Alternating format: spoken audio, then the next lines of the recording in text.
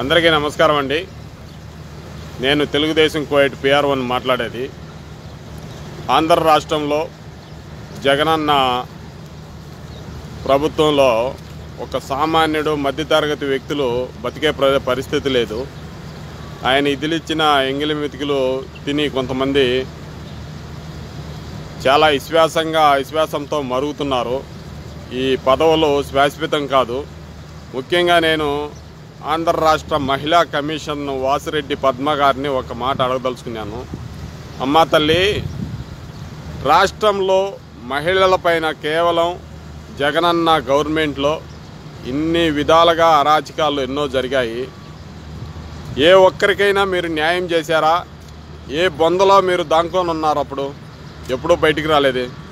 ఇప్పుడు విజయవాడలో జరిగిన గ్యాంగ్ రేప్కు అక్కడికి వచ్చేసి నేను ప్రాణంతో ఉన్నానని చెప్పి అక్కడ వాళ్ళను ఓదార్చి అధికారంలో ఉన్నటువంటి మీరు పది లక్షలు వాళ్ళకు ఆర్థిక సహాయం చేస్తే ప్రతిపక్షంలో ఉన్నటువంటి చంద్రబాబు నాయుడు గారు ఐదు లక్షలు ఇచ్చాడు.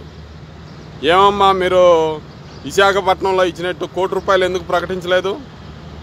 అంత విశాఖపట్నం మీద అంత ప్రేమ మీకు? ఈరోజు ఎవడైనా ఒక జబ్బు వచ్చి హాస్పిటల్లో బెడ్ కావాలని పోతే వాడికి ఒక బెడ్ దొరికే పరిస్థితి లేదు.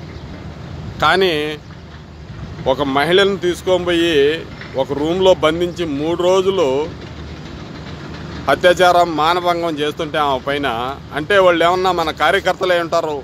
అంతే కదా? ఏమిటి ఈ అన్యాయం? తిరుమలకి వెళుతుంటే జగన్ గారి కాన్వాయకు కారు పీక్కొని పోవటం ఒక ఫ్యామిలీ దగ్గర ఇది ఎక్కడన్నా ప్రపంచంలో ఎక్కడన్నా చూసుంటారా? ఇంత అరాచకమా? రాష్ట్ర ప్రజలందరూ ఇప్పటికైనా కళ్ళు తెరవండి. మళ్ళీ సిగ్గు లేకుండా ఈ మహిళా కమిషనరు చంద్రబాబు నాయుడు గారికి బోండా ఉమా గారికి నోటీసులు పంపించటం అంటే రాష్ట్రం ఏమైపోతుంది అనేది ప్రజలందరూ ఇప్పటికైనా కళ్ళు తెరవాలని ప్రతి ఒక్కరిని కోరుకుంటున్నాను. అందరికీ కూడా ధన్యవాదాలు.